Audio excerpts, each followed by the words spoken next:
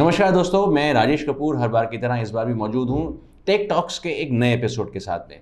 दोस्तों, अभी तक हम लोगों ने जितनी भी चर्चाएँ करी हैं, आपको बहुत पसंद आई हैं। आपकी मेल्स हमें मिलती रहती हैं, आपके फ़ोन से हमें पता चलता रहता है कि आप हमारे एपिसोड को लेकर उतना ही एक्साइटेड रहते हैं जितने कि हम। दोस्तों, इस जर्नी के अंदर हम लोगों ने टेक्नोलॉजी गैप्स को समझा, अच्छे से समझा एक्सपर्ट से समझा, और अब हम शायद ये कह सकते हैं कि यस टेक्नोलॉजी से हम फ्रेंडशिप करने को बिल्कुल रेडी हैं। दोस्तों ये पर्पज़ इस पूरी सीरीज़ का यही था कि हम आपको ये बता सकें कि बढ़ती टेक्नोलॉजी के साथ में, इस नए दौर के अंदर टेक्नोलॉजी के गैप्स बहुत ज़्यादा क्रिएट होते जा रहे हैं। गैप्स का मतलब होता है कि हमारी अंडरस्टैंडिंग उस टेक्नोलॉजी के साथ में कैसी है, वो कितनी दूरी पे हैं हम लोग, और टेक्नोलॉजी कहाँ भागती जा रही है, इसके बीच में कोई गैप होना नहीं चाहिए। ये गैप होगा तो हमारे से फ़ायदा उठाएँगे हैकर्स हमारे से फ़ायदा उठाएँगे वायरसेस रैंसमवेयर्स हम लोगों ने इनको डिफीट करना है ताकि हमारा काम, हमारा डेटा बिल्कुल सेफली चलता रहे। आज का हमारा टॉपिक जो है बहुत ही रोमांचक है और ये है डेटा सेंटर्स के ऊपर। क्लाउड का ओरिजिनेशन जब से हुआ डेटा सेंटर्स मानो एक तरीके से उनकी बाढ़ सी आ गई। जहाँ पर भी हम देखते हैं डेटा सेंटर्स की भरमार नज़र आती है। इंडिया हो या इंडिया के बाहर, आज डेटा को संभालने के लिए हर व्यक्ति अपने अपने सेटअप्स के साथ में रेडी है और उस सेटअप को हम बोलते हैं डेटा सेंटर्स आज इस टॉपिक को हम गहराई से डिस्कस करने वाले हैं। हमारे साथ दो एक्सपर्ट्स रहेंगे। आप तो जानते ही हैं जी आई कंसल्टिंग इस शो का जन्मदाता जो है उसने हमारे को ये मौका दिया कि हम टेक्नोलॉजी को यहाँ डिस्कस कर सकें। तो उनका एक एक्सपर्ट तो यहाँ रहना बनता ही है। तो आइए सबसे पहले हम स्वागत कर लें धीरज जी का। धीरज जी बहुत बहुत स्वागत है आपका। नमस्कार सर। नमस्कार जी। सो so, धीरज जी को हम लोग सर्विस मैटर एक्सपर्ट के नाम से बहुत बखूबी जानते हैं और डेफिनेटली मैं उनको एस e के नाम से यहाँ पे एड्रेस भी करता रहूँगा और कंप्लाइंसेस के विषय में उनसे चर्चा भी करता रहूँगा। लेकिन कंप्लाइंसेस डेटा सेंटर के लिए कहाँ तक ज़रूरी होती हैं? डेटा सेंटर आखिर करते क्या हैं? डेटा सेंटर के अंदर हम लोग होस्टिंग करते हैं या और भी कुछ करते हैं? ये सब जानकारी हम लोग लेने वाले हैं। नेट फॉर चॉइस के फाउंडर डायरेक्टर से, जिनका नाम है समीर यादव। समीर जी बहुत बहुत स्वागत है आपका हमारे इस शो में। नमस्कार Rajesh ji and thank you so much for इस शो में इनवाइट करने के लिए। जी आपके जैसे व्यक्तियों से ही ये शो बनता है नहीं दोस्तों? सो so, uh, मैं इससे पहले कि ये शो का आगाज़ करूँ आपके सामने नंबर्स हैं जी के और आपके सामने डिटेल्स हैं समीर यादव जी की। नेट फॉर चॉइस से अगर आप जुड़ना चाहते हैं उनकी सर्विसेज़ लेना चाहते हैं डेफिनेटली ये डिटेल्स आपको बहुत हेल्प करने वाली हैं। और मैं क्लाउड एक्सेस का भी ज़िक्र कर दूँ इससे पहले कि ये शो हम लोग आगाज़ करें। क्लाउड एक्सेस एक ऐसा प्लेटफॉर्म है दोस्तों जो आपके डेटा को सेफ़ रखने का वायदा करता है। तो आइए शुरू करते हैं। समीर जी आ, हम लोग आज बात करने वाले हैं डेटा सेंटर्स की और डेटा सेंटर्स में हमारे क्लाइंट्स के डेटा की सिक्योरिटी की। सबसे पहले आपसे ये जानना चाहते हैं आपने डेटा सेंटर को अपना as a field of employment as a field of profession क्यों चुना? तो so, बहुत अच्छा क्वेश्चन है राजेश जी आपका। जैसा हम लोग एक छोटा सा चेंज हमने देखा कोविड के बाद से। जैसा हम लोग देख रहे हैं कि हमारी इंडिया आज नॉट इंडिया पूरा वर्ल्ड डिजिटलाइजेशन को लेके बहुत ज़्यादा यू नो एक्साइटेड है और बहुत ऐसी चीज़ें हैं जो फिंगर पे आ गई है। सो so, पहले अगर मैं एक छोटा वर्ड बोलूँ कि जो काम कंधे से होता था आज शायद उंगलियों से होता है।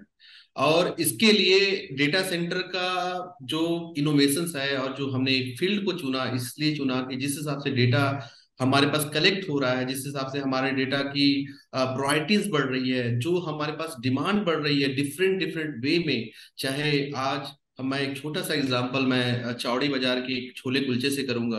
कि वहाँ पे एक छोला कुलचा मिलता है, आज वो ऑनलाइन हमारे घर पे आता है। मतलब हमें जाने की ज़रूरत नहीं है और हमारे घर पे आ जाता है। ये सब पॉसिबिलिटी कैसे हो पाई है? बिकॉज़ ऑफ़ हमारे ऑनलाइन सर्विसेज़ से। ऑनलाइन का मतलब यही है कि हम डिजिटली कितना इनेबल कर रहे हैं। तो अगर मैं एक छोटे वर्ड में स्टार्ट करूँ कि नेटवर्क चॉइस जब हमने स्टार्ट किया तो हमारा भी विजन यही था कि हम अपने कंट्री का डेटा हम अपने पास रखें। बिकॉज़ अगर मैं छोटे लफ्जों में बोलूँ तो हमारे बहुत सारे डेवलपर भाई, बहुत सारे ऐसे कंपनीज़ जो अपनी वेबसाइट को इंडिया से बाहर रखती हैं। जिनका सबसे बड़ा चैलेंज होता है कि अगर उनका कंज्यूमर उस वेबसाइट को एक्सेस करता है तो उसको इतना टाइम लगता है कि शायद उसका इंटरेस्ट ही हट जाता है। अगर मैं वही आपसे सिंपल सा बोलूँ कि अगर आपका इंटरेस्ट एक सिंगल क्लिक पे अगर आपके पास आता है तो आपका इंटरेस्ट बढ़ता जाता है। बट वहीं पे अगर वो बफर होता है या वेबसाइट खुलने में टाइम लगता है तो उसके एन नंबर ऑफ़ फैक्टर्स होते हैं। बहुत खूब बहुत ही खूब। ये जो आप डेटा सेंटर्स का कॉन्सेप्ट लेके तो आए हैं आ, लेकिन काफ़ी लोगों को ये डर है कि डेटा सेंटर पे अगर डेटा रखा गया तो हमारा नहीं रहेगा वो। वो कहीं ना कहीं लीक हो जाएगा। क्या ये पॉसिबिलिटीज होती हैं? सर देखो मैं बिल्कुल भी उनके पॉइंट से एग्री हूँ बट मैं एक चीज़ कहना चाहता हूँ बिफोर स्टार्टिंग माय वर्ड मैं एक बहुत सिंपल सा बात कहूँगा। आज एक हमारे पास में ट्रस्ट चलता है। ट्रस्ट होता है कंप्लाइंसेस का। आज हम अपना पैस, पैसा बैंकों में रखते हैं बट बैंकों से क्या हम पूछते हैं कि हम अगर आप हमारा पैसा लेके चले जाओगे तो क्या होगा? सो so, हमारे पास कॉन्फिडेंस है कि उनका कुछ कंप्लाइंसेस होगा। वो कंप्लाइंसेस कुछ रेगुलरिटी होगी जो आरबीआई कंट्रोल करती है। उसका एक रेगुलरिटी होता है जिसको फाइंड करती है कि हाँ अगर आपका स्टैंडर्ड है तब आप होगे। नेटवर्क चॉइस डेटा सेंटर में है तो मतलब अगर वो डेटा सेंटर रन कर रही है तो किसी रेगुलरिटी से उसके सारे कंप्लाइंसेस हैं। वो अथॉरिटी उसे अथॉरिटी देती है कि यस आप उस पर मार्क हो, सारे कंप्लाइंस आपके मार्क है, तब आप हमारे को अपना डेटा देते हो। वाइस वर्सा जैसे, उनका लाजमी है इस बात का कंसर्न करना क्योंकि डेटा डेटा क्या होता है? वो हमारी प्राइवेसी वो हमारी चीज़ें हैं। तो हम आपको क्यों दें? जैसे हमारा पैसा, हमारी मेहनत की कमाई हम आपको क्यों जमा करें? बट एक सिस्टम होता है उस पैसे को कैरी करने के लिए। आपका पैसा आपकी जेब से चोरी हो सकता है बट बैंक से वो जवाब देता है कि आपका पैसा कहाँ गया? उसके पास पूरी ट्रैकिंग होती है, उसके पास पूरी इंफॉर्मेशन होती है। तो इसलिए हम लोग कंप्लायंस डेटा सेंटर है, इस में डरने की बात नहीं है। आप कंप्लाइंसेस पूछ सकते हैं आप अपनी क्लियरेंसी ले सकते हैं आप क्लियरिटी ले सकते हैं कि हाँ क्या क्या है आप प्रिवेंट करते हो जिसकी वजह से हमारे डेटा की सेफ्टी है सर सो so, जहाँ बात हो रही है अभी धीरज जी डेटा सेंटर्स के अंदर बैंक्स तो खैर एक एक तरीके से गवर्नमेंट रेगुलेटेड हो गए। तो इस वजह से सेफ्टी ज़्यादा महसूस होती है। लेकिन जहाँ हम बात करते हैं इतने बल्क ऑफ़ डेटा की और आज भी ऑर्थोडॉक्स थिंकिंग की हम बात करते हैं तो कंप्लाइंसेस कितना बड़ा रोल प्ले करती हैं और कैसे हम लोग इस शो के माध्यम से अपने दर्शकों को हम लोग कन्विंस कर सकते हैं कि डेटा आपका जो है वो वाकई में कहीं नहीं जा रहा और कहीं ना कहीं इसमें सरकार का बहुत बड़ा हाथ है। ये इंश्योर करने के लिए कि डेटा सेंटर्स या डेटा को हैंडल करने वाले लोग सेफ़ हैं। डेटा सेंटर में जो डेटा होता है वो उसके लिए डिफरेंट डिफरेंट कंप्लाइंस समय समय पर आते रहते हैं। अभी पर्सनल डेटा को लेके गवर्नमेंट ने डेटा प्राइवेसी बिल लाए हैं। वो अप्रूव हो चुका है वो आ चुका है।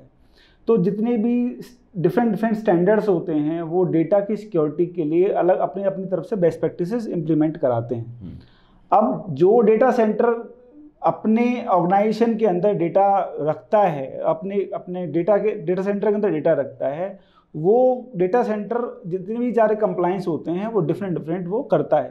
हम्म। सबसे बेसिक जो कंप्लाइंस होता है वो आईसो टू सेवन जो ज़ीरो वन होता है जो कि जितने भी डेटा सेंटर्स होते हैं वो सारे के सारे उस कंप्लाइंस को अडॉप्ट करते हैं। डेटा कंप्लाइंस क्या है कि बेस्ट प्रैक्टिसेस हैं क्योंकि जब हम सिक्योरिटी की बात करते हैं तो we focus on the four Ps four Ps मतलब product place process and people जो लोग उस डेटा सेंटर में काम करते हैं उन वो कैसे इंश्योर uh, करें कि डेटा सिक्योर रहे? वहाँ पर जो रिस्क हैं उस लोगों से रिलेटेड डेटा लीकेज से रिलेटेड उनको हम कैसे इंश्योर करें कि वो कम से कम हो वो uh, वो मिनिमाइज हो सके वो मिटिगेट हो सकें? उसके बाद जो आपका प्रोडक्ट है उसको समय समय पर भी एसेस द प्रोडक्ट उसको हम एसेस करते हैं टेक्निकल असेसमेंट करते हैं जिससे कि उसमें जो टेक टेक्निकल वल्डेबिलिटीज़ हैं जो प्रोडक्ट यूज़ कर रहे हैं डेटा स्टोरिंग के लिए उसमें जो टेक्निकल वल्डेबिलिटीज़ हैं जो कम्युनिकेशन में टेक्निकल वल्डेबिलिटीज़ हैं उनको मिटिगेट किया जा सके हम्म। उसके अलावा जो फ़िज़िकल सिक्योरिटी को डेटा सेंटर में अवेलेबिलिटी एक बहुत बड़ा कंसर्न होता है तो उसके लिए जो फ़िज़िकल सिक्योरिटी जो डेटा सेंटर की रहती है उस उसको एक सेट ऑफ़ स्टैंडर्ड मेंटेन करा जा सके जिससे जो रिस्क है फ़िज़िकल सिक्योरिटी का फ़िज़िकल डेटा थेफ्ट का वो मिनिमाइज किया जा सके।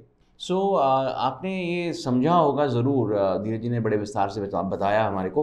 कंप्लाइंसेस जो हैं, वो बेसिकली ये इंश्योर करना होता है कि डेटा सेंटर सुचारू रूप से चल रहा है कि नहीं चल रहा है। साथ ही में उनके वहाँ के जो व्यक्ति हैं, लोग हैं, वो ट्रस्टवर्दी तो हैं कि नहीं हैं। और ये चीज़ इंश्योर करती है G I S P consulting की टीम जिनके नंबर्स लगातार यहाँ स्क्रीन पे फ्लैश हो रहे हैं। आप ध्यान रखेंगे तो डेफिनेटली आपको इनसे मिलने का मौका मिल सकता है। लेकिन दोस्तों ये शो क्योंकि बहुत पॉपुलैरिटी गेन कर चुका है तो हमारे पास क्वेश्चंस लगातार आते रहते हैं मैं अपना सबसे पहला क्वेश्चन लेने जा रहा हूँ जो कि है प्रीति गौड़ जी प्रीति जी आप अपना क्वेश्चन पूछ सकते हैं my name is Preeti Gaur and I am calling from Gurgaon I'm working in uh, audit and compliance domain. My question to you is, are there any regulatory and compliance consideration that data center must adhere to? And how do these regulations affect their operations? तो प्रीति जी, मैं आपको address करना चाहूँगा कि जैसे हमने compliances की बात करी तो जब हम डेटा सेंटर के लिए बिल्डिंग फाइंड करते हैं, सबसे पहले टुवर्ड्स बिल्डिंग से हमारा स्टार्ट होता है तो हम पहले वो जगह देखते हैं कि उस बिल्डिंग के आसपास कोई ऐसी जगह तो नहीं है, कोई खाली जगह तो नहीं है कि वहाँ पे कभी भी बिल्डिंग पे कोई भी ऐसे फ्लड्स या कुछ भी ऐसे इन एक्टिविटी हो सके जिसके थ्रू क्योंकि फ़िज़िकल सिक्योरिटी बहुत ज़्यादा इसमें ज़रूरी होता है। डेटा सेंटर की मैं बात करूँ तो तीन पैरामीटर्स इसमें बहुत ज़्यादा मेजर करते हैं। पहले जो आता है, वो आता है पावर पावर का हमारे पास सोर्स क्या आ रहा है? ठीक है? दूसरा हमारे पास है कूलिंग कूलिंग में हम जो डेटा सेंटर को कूलिंग देते हैं, वो कूलिंग नॉर्मल कूलिंग नहीं होती जो आप घर पे एसी चलाते हो, वो कूलिंग नहीं होती क्योंकि अगर आपको पता हो तो जो हम नॉर्मल एसी चलाते हैं उसमें मॉइस्चराइजेशन होता है, जिसमें आपकी थोड़ी नमी होती है। हम डेटा सेंटर के जो सर्वर्स होते हैं, उसको नमी देंगे तो उसमें मॉइस्चराइजर होगा, जिसकी वजह से डेटा सेंटर के कंपोनेंट लॉस होने के चांसेस होते हैं। जो तीसरा मेजर कंपोनेंट है, वो इंटरनेट है। इंटरनेट में हमारे पास डिफरेंट डिफरेंट सोर्सेस होते हैं, जिसमें आपके मल्टीपल आईएसपी में कंक्लूड होते हैं। उसके बाद जो हमारा दूसरा कंस्ट्रक्शन को लेकर होता है कि हम, क्योंकि डेटा सेंटर जब भी हम बनाते हैं तो हम सबसे पहले इस चीज़ का ध्यान रखते हैं कि डेटा सेंटर ग्राउंड फ्लोर पे ना तो हम लोग मैक्सिमम फ्लोर ग्राउंड फ्लोर से क्लियर करते तो जितना भी आप डेटा सेंटर विज़िट करके देखोगे या नेटवर्क चॉइस को कभी आप विज़िट करके देखोगे तो नेटवर्क चॉइस का डेटा सेंटर ही फ़र्स्ट फ्लोर से स्टार्ट है सेकंड फ्लोर से स्टार्ट है? धीरज जी बहुत ही इंटरेस्टिंग चीज़ उन्होंने बताई फ़िज़िकल कंप्लायंसेस के बारे में। आपके साथ हमारी चर्चा जे एस कंसल्टिंग पे जो चर्चा रहती है हमारी, ज़्यादातर हमारी एक वर्चुअल यानी कि सॉफ्टवेयर बेस्ड या जो कि हमारी कंप्लाइंसेस जो है कनेक्टिविटी बेस्ड होते हैं, उनके ऊपर ज़्यादा चर्चा होती रही है। कभी फ़िज़िकल हम लोगों ने कंप्लाइंसेस के बारे में ना पूछा, ना जाना। तो कुछ कहना चाहेंगे इसके ऊपर? सो फ़िज़िकल सिक्योरिटी में डेटा सेंटर्स के लिए मल्टी लेयर सिक्योरिटी होती है। मल्टी लेयर सिक्योरिटी में क्या होता है? सबसे पहले when you enter in a building तो एक लेयर वो होगी, वहाँ पर आपका सिक्योरिटी चेक होगा, आपका एक्सेस आइडेंटिफिकेशन देखी जाएगी, आपको प्रॉपर उसके बाद ही एक्सेस मिलेगा। उसके बाद जब आप डेटा सेंटर के फ्लोर पे एंटर करते हैं, तब दूसरी लेयर सेकंड लेयर सिक्योरिटी होती है, जो आपको एसेस करने के बाद वहाँ से एंटर करने देती है। और थर्ड है, जब आप डेटा सेंटर के अंदर एंटर करते हैं तो वहाँ पर थर्ड लेयर एक्सेस होता है आपका तो आपका ऑथराइजेशन चेक होता है, तब उसके बाद आप डेटा सेंटर तो थ्री लेयर डेटा सिक्योरिटी के थ्रू ही आप फिजिकली अंदर जा सकते हैं। सो so, बड़ा इंटरेस्टिंग है कि हम लोग जब बात करते हैं वर्चुअल कंप्लाइंसेस की यानी कि जब हम बात करते हैं किसी वर्चुअल एसेट के ऊपर अपने कंप्लाइंसेस की तो ज़्यादातर ये देखते हैं कि कहीं रैंसमवेयर अटैक्स हो जाएँगे तो रिकवरी कैसे पॉसिबल हो पाएगी या फिर हों ही ना या फिर हम लोग हैकिंग के कुछ चांसेस को मिनिमाइज़ करते हुए आगे चलते हैं। पर यहाँ एक समीर जी ने जैसे पॉइंट आउट किया कि फ़िज़िकल कंप्लायंस भी एक डेटा सेंटर का बहुत ज़रूरी होता है और उसके ऊपर धीरज जी ने ये बताया कि हम विजिलेंस भी किस प्रकार से रखते हैं using latest equipments very interesting so बढ़ते हैं अपने दूसरे क्वेश्चन मेरे को लगातार प्रॉन्ट आ रहा है हमारा क्वेश्चन और आ रहा है। I am calling from Australia and my name is Nitika Bhalla so here's my question with the increasing amount of data being generated what innovation in data storage and processing are on the horizon for data centers? Thank you Nitika ji आ, बहुत interesting question है आपका कि अगर जिस हिसाब से हमें data increase हो रहा है तो उसके पास डेटा सेंटर के पास क्या प्रोत्साहन है? हम डेटा को समझते हैं। डेटा हमारा जो होता है दो फॉर्मेट में आता है ठीक है? आपने देखा होगा कि एक डेटा ना मल्टीपल टाइम जो है वो कॉपी होता है। जैसे मैं एक एस ले लेता हूँ राम का।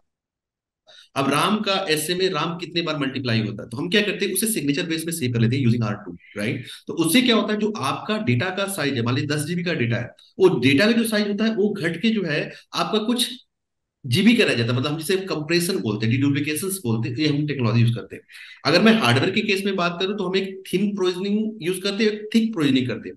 जो आप लैपटॉप में हार्ड ड्राइव यूज़ करते हैं दिस कॉल थिक वो आपने अगर एक टेराबाइट का डिस्क लगाया तो वो एक टेराबाइट का होता है। थिन प्रोसेसिंग में क्या होता है, जो हम टेक्नोलॉजी यूज़ करते हैं, वो एज पर योर इंक्रीमेंट मान लीजिए आज आपके पास एक टीबी का डेटा और कल आपका बढ़ने वाला आफ्टर डीडुप्लीकेशन एंड ऑल हम अपने सॉफ्टवेयर और अपने टूल का यूज़ करके हम उसे दूसरी हार्ड ड्राइव लगाते हैं और ऑटोमेटिक जो आपका डी ड्राइव का फोल्डर वो अमेंड हो जाता है। तो उसपे क्या होता है डेटा सेंटर के पास ऐसा प्रोविज़न होता है कि हमारे पास मल्टीपल डेटा का प्रोविजनिंग होता है with without any down time so my question very simple की using our tool and software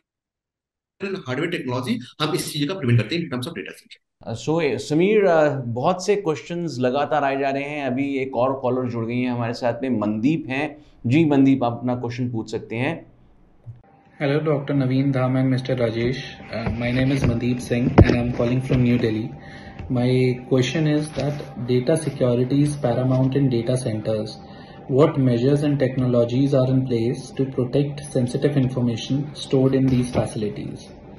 Thank you. so, मैं ये समझता हूँ ये क्वेश्चन मैं एक बार आपसे एड्रेस करना चाहूँगा धीरे जी। uh, हम कंप्लाइंसेस की लगातार बात करते आए हैं I S O twenty seven thousand one के बारे में अभी आपने बताया भी है। यहाँ पर बात सिर्फ़ डेटा सिक्योरिटी की नहीं है आप जो पूछ रही हैं मनदीप वो तो उनका आंसर मिल ही जाएगा उसके अंदर। डेटा डेफिनेटली सिक्योर करना एक जिम्मेवारी बन जाती है एक डेटा सेंटर की लेकिन जो आजकल हम देख रहे हैं हैकिंग्स हो रही हैं फिशिंग अटेम्प्ट्स के थ्रू अंदर घुसा जाता है ब्रीच कर दी जाती हैं सिक्योरिटी लेयर्स इसके ऊपर आप लोग क्या कार्रवाई करते हैं? देखिए उसके लिए हम यही कस्टमर को सजेस्ट करते हैं कि सेग्रीगेशन ऑफ़ नेटवर्क क्योंकि डेटा सेंटर का मेन कंपोनेंट होता है नेटवर्किंग राइट व्हेन आपके पास सेग्रीगेशन ऑफ़ नेटवर्क होता है तो अगर किसी पर्टिकुलर नेटवर्क पे पर्टिकुलर जोन पे आपका अटैक होता है तो आप उस जोन को आइसोलेट करके बाकी मल्टीपल जोन को सेव कर सकते हो। जी। दूसरा रैंसम वेयर अटैक बहुत होता है डेटा सेंटर के ऊपर। तो उसके लिए आपका जो बैकअप प्रोसेस है वो बहुत स्ट्रांग होना चाहिए। हम्म। आपका अगर आपके पास बैकअप ऑफ़ डेटा है अवेलेबिलिटी है तो आप आराम से नेगोशिएट कर सकते हो जिस जिस जिस हैकर ने आपका रैंसम वेयर आपके यहाँ डाला है और आपसे रैंसम मांग रहा है उसके अगेंस्ट में तो आप उसे नेगोशिएट कर सकते हैं because you already have a backup और उस बैकअप से आप अपना जो डेटा है जो डाउन टाइम है उसको मिनिमाइज कर सकते हो उसकी हेल्प से। मैं तो यही कहूँगा कि हमें बिल्कुल नेगोशिएट करने की भी ज़रूरत नहीं है। आपने डेटा सिक्योरिटी पॉलिसीज़ को इतना स्ट्रॉन्ग बनाइए डेटा का बैकअप इतने अच्छे से रखिए कि अगर कुछ डेटा आपका लॉस होता भी है तो मेहनत कर लीजिए डेटा को रिट्रीव करने के लिए। लेकिन इन लोगों को रैंसम दे के उनको पोषित मत कीजिए। यही मेरा कहना होगा। समीर आपने सुना अभी धीरे जी ने जो बोला। आ, मैंने कई दफ़ा ये नोट किया है कि डेटा सेंटर्स जो हैं वो एक बार कंप्लाइंसेस करवा लेते हैं ऑडिटिंग करवा लेते हैं। उसके बाद वो समझते हैं कि नाउ वी आर सिक्योर अब तो जब कभी कोई एक्सीडेंसी होगी तो हम उसके बाद उसमें फिर से उनसे हेल्प ले लेंगे। क्या ये पॉलिसीज़ डेटा सेंटर को अपनानी चाहिए या फिर एक रेगुलर चेकअप इन ऑडिटर्स के थ्रू करवाते रहना चाहिए? सर, ये एक, जो कम्प्लाइंस होता है बेसिकली थ्री इयर्स के लिए होता है और बेसिक जो ऑडिट होता है एवरी ईयर होता है। तो हम कोई भी कंप्लाइंसेस करते हैं तो तीन पैरामीटर्स में होता है। जो हमें सर्टिफिकेट इशू होता है, वो थ्री इयर्स के लिए होता है बट उसका जो अमेंडमेंट और वैलिडेसी और जो ऑडिट होता है, वो एवरी ईयर होता है। तो यस हमारा जो सर्टिफिकेट है, जब तक अगर हम हर साल उसे ऑडिट ना करें तो हमारा इनवैलिड माना जाता है। वो इनवैलिड होने पे we are not going to be claim कि we are that certified compliance इसी बीच प्रॉम्प्ट आ रहा है, एक और कॉल हमारे साथ जुड़ रही है। वंशज जी बताइए आपका क्या क्वेश्चन है? My name is Vanshaj. I'm calling from New Delhi. I'm working with a Canadian-based marketing agency, and my question for you is: How are data centers addressing the issue of data privacy and compliance with regulations like GDPR and CCPA? Basically, वंशज जो GDPR compliances है हम data centre में बोलते but ये European standard होता है तो इस केस में हम लोग क्या करते हैं डेटा सेंटर में कि हमारे पास मल्टीपल डेटा सेंटर्स होते हैं so what we have done is कि हम आपका प्रोसेस स्टार्ट कर देते हैं और और हम उस लोकेशन के डेटा सेंटर में आपकी होस्टिंग करते हैं या उस लोकेशन के डेटा सेंटर में हम आपका डेटा प्रेफरेंसेस दे देते हैं जहाँ पे कंप्लायंस होता है। सो so, मैं इसमें अपने एक्सपर्ट मिस्टर धीरज जी को करेक्ट करना चाहूँगा बिकॉज़ ये कंप्लायंस और सिक्योरिटी पे बेटर एड्रेस करेंगे। So over to you Dheeraj ji आप इस पे बेटर आप आंसर दे सकते हैं। सर जीडीपीआर जो है जीडीपीआर या और डेटा प्राइवेसी कंप्लायंस में यू हैव टू इंश्योर कि जो डेटा आप प्रोसेस कर रहे हैं वो एज पर लॉ हो। जो भी कंट्री का जीडीपीआर है यूरोपियन के लिए।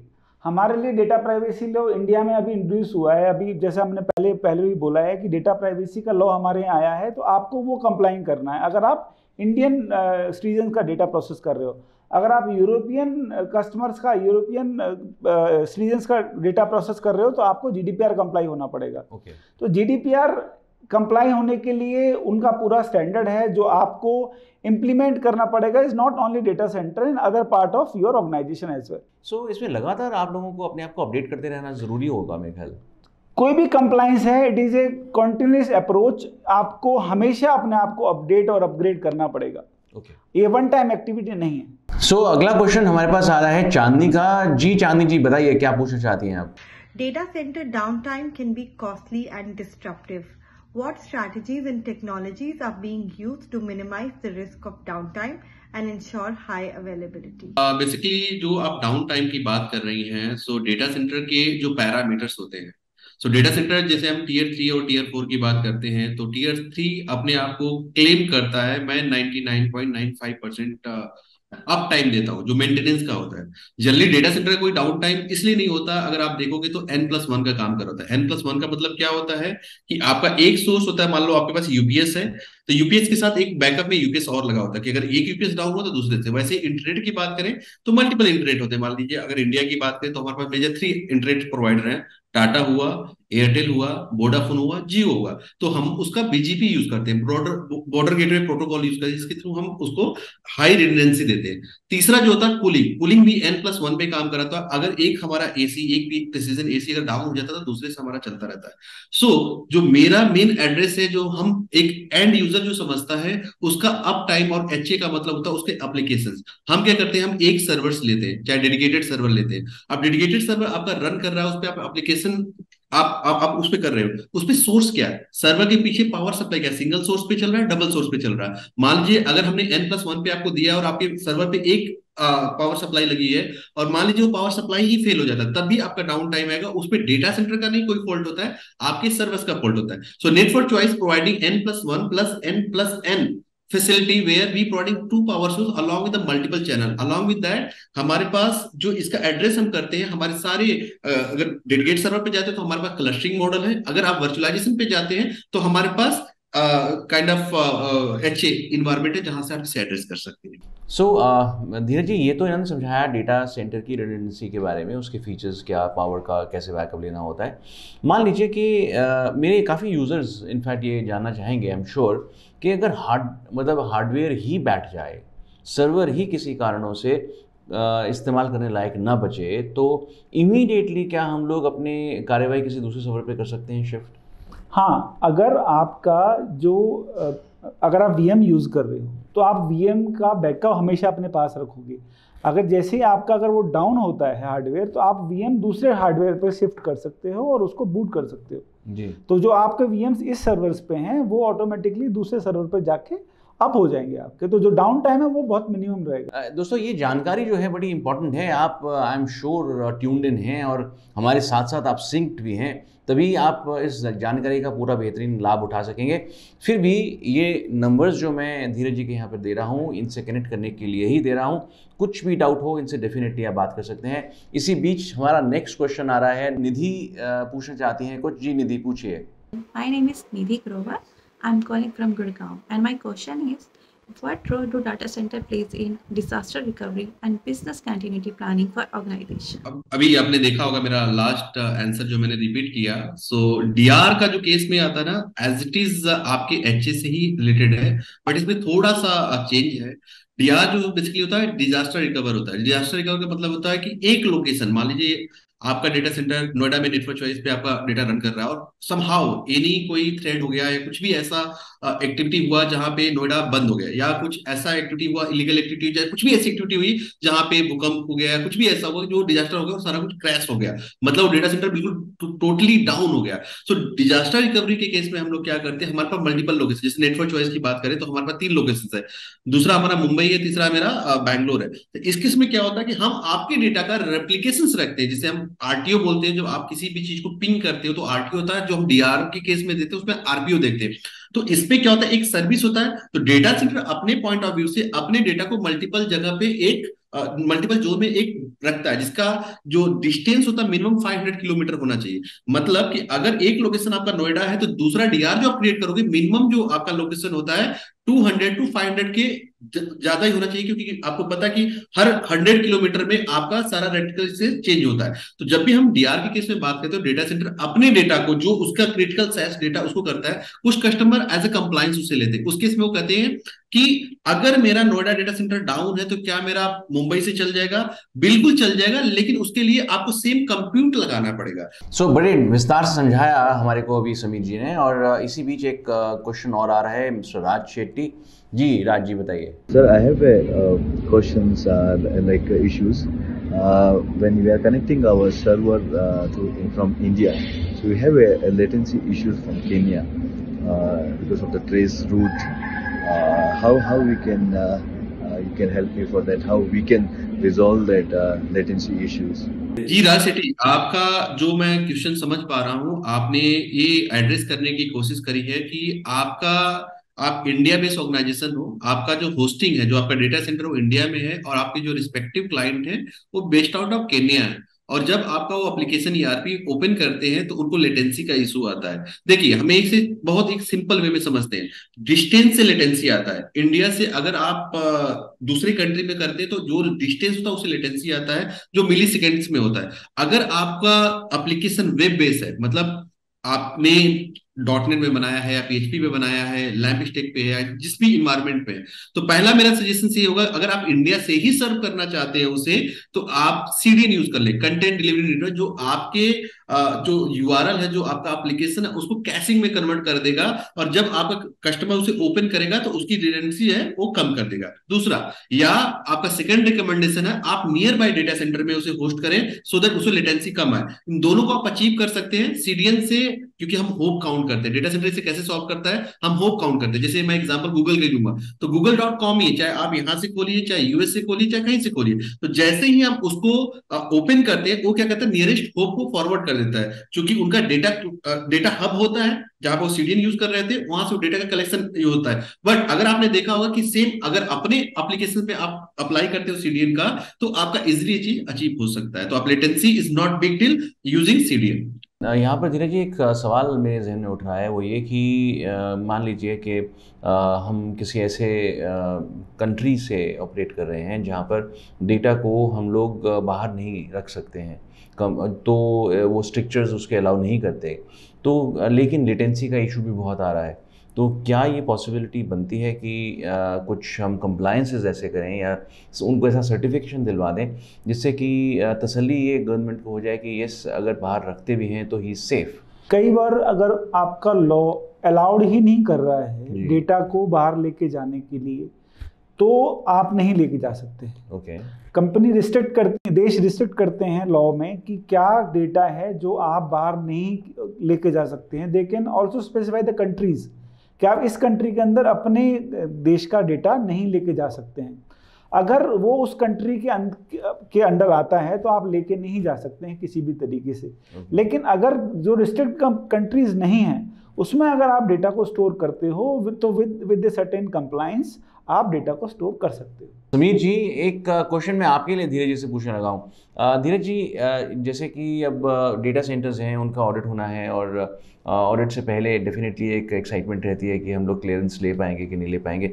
ऐसी क्या चीज़ें इंश्योर करनी चाहिए कि डेटा सेंटर जो है बेफिक्र हो जाए कि हाँ डेटा ऑडिट हो जाए कोई मतलब डेटा सेंटर ऑडिट हो जाए कोई दिक्कत नहीं। देखिए डेटा सेंटर के अंदर आपको जो कुछ मेजर मेजर कंपोनेंट हैं मैं उसके बारे में आपको बात बताना चाहूँगा। सबसे पहले आपको फ़िज़िकल सिक्योरिटी का ध्यान रखना है डेटा सेंटर का। कि जो फ़िज़िकल आप एक्सेस दे रहे हो जो आप लिस्ट ऑफ़ एक्सेस हैं आपके पास अप्रूव्ड होना चाहिए। उसके अलावा अगर कोई विजिटर आता है तो उसके लॉग्स आपको कैप्चर करने चाहिए। आपके data centre twenty four by seven CCTV की मॉनिटरिंग में रहना चाहिए। हम्म। आपको इंश्योर करना चाहिए कि जो आपकी केबलिंग है डेटा सेंटर की डेटा केबलिंग और इलेक्ट्रिकल केबलिंग वो अलग डग से आए। हम्म। आपको उसकी ह्यूमिडिटी का उसके आपको टेम्परेचर का लॉक मॉनिटर करना चाहिए। It should be review regularly ये मेजर मेजर उसका एक्सेस आप किसको एक्सेस दे रहे हैं किस कंडीशन में दे रहे हैं सबके आपको लॉक्स प्रॉपर होने चाहिए। ये बेसिक बेसिक चीज़ें आपको इंश्योर करना पड़ेगा, तभी आप किसी डेटा सेंटर कंप्लाइंस को क्लियर कर सकते बहुत बढ़िया। दोस्तों, ये एपिसोड और ये सीरीज़ यहाँ कंक्लूड होती है इस एपिसोड से, लेकिन डेफिनेटली हम सीज़न टू इसका बहुत जल्द लेके आने वाले हैं तो जुड़े रहिए हमारे साथ। टेक टॉक्स कहीं नहीं जाने वाला है, आप ही के बीच रहने वाला है, लेकिन एट द सेम टाइम आपके फीडबैक्स नहीं रुकने चाहिए दोस्तों। प्लीज़ फीडबैक्स देते रहिएगा, हमारे को बताते रहिएगा सीज़न टू में हमें क्या इंप्रूवमेंट करना है।